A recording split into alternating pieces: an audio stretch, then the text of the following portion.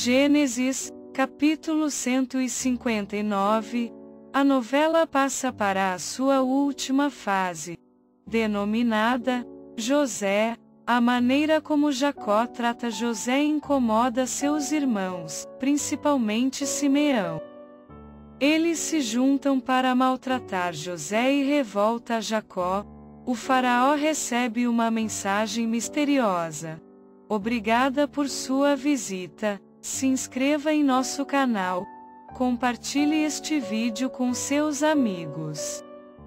Deixe seu gostei. Deixei o link fixado nos comentários com o capítulo completo da novela. Até a próxima!